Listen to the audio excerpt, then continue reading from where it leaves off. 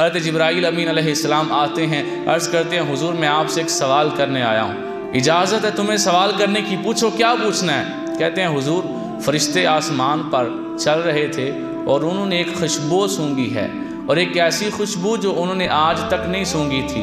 और फिर मुझे बुलाकर कहा कि आप हम सब फरिश्तों के सरदार हैं और आप हमारे उस्ताद हैं। हमें बताएँ कि ये जो खुशबू हम सूंघ रहे हैं, ये कहाँ से आ रही है? हरत जब्राईल अमीन आसमाम उन फरिश्तों के पास जाते हैं और जाकर उस खुशबू को सूंघते हैं जिस जगह पे खड़े हुए उन फरिश्तों को खुशबू आ रही थी। तो फरिश्तों से कहते हैं कि यार, मुझे भी नहीं पता चला ये किस चीज़ की खुशबू है। ये आज से पहले हमने भी नहीं सूंघी थी। तो फरिश्ते कहते हैं कि हमारे उस्ताद आप हैं, हमने आपसे पूछा है। अब अगर आपको भी नहीं पता, अब कौन बताएगा?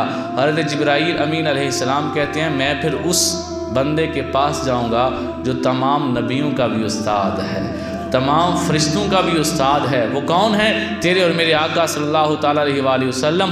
तो आकर कहते हैं, हुजूर बताएँ ये जो फरिश्ते खुशबू सूंघ रहे हैं, ये कहाँ से आ रही है? आज लोग कहते हैं कि नबी को दीवार के पीछे का इल्म नहीं। आज लोग कहते हैं कि नबी को तो सिर्फ़ नमाज़, रोज़े के मसाइल का पता है। ये गैब के इलम का नबी के साथ क्या ताल्लुक़? नबी का काम है नमाज़, रोज़े, हज और ज़क़़त के मसाइल बताना। मैं कहता हूँ, वो जबरील जो पूरे का पूरा कुरान सरकार की बारगाह में लेकर आए, क्या उन्हें नहीं पता था कि सरकार इस्लाम का काम है नमाज़, रोज़े के मसाइल बताना? ये जो मैंने आसमानों पे खुशबू सूंघी है, उसका ज़मीन पे बैठे हुए मोहम्मद अलैहि वसल्लम को क्या पता?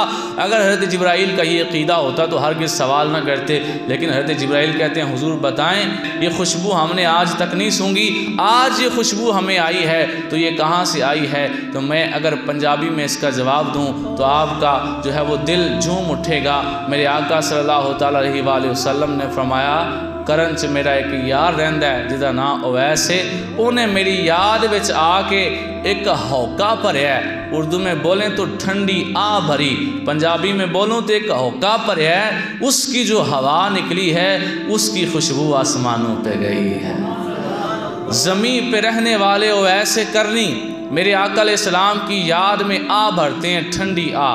जैसे हम कभी कभार बैठे होते हैं, मायूस हो जाते हैं और हम कहते हैं ओ हो इसको कहते हैं, ठंडी आ भरना, हो का भरना।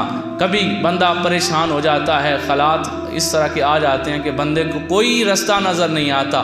और वो इस तरह ठंडी आ भरता है। बड़े जो है वो परेशानी वाले अंदाज में हरत वैसे करनी सरकार इस्लाम से मिलना चाहते थे, मिल नहीं सके थे। उस ठंडी आ भरने की ये शान है कि फरिश्तों, फरिश्ते जो आसमान पे खड़े हैं, उधर उस हवा की खुशबू को सूंघ रहे हैं।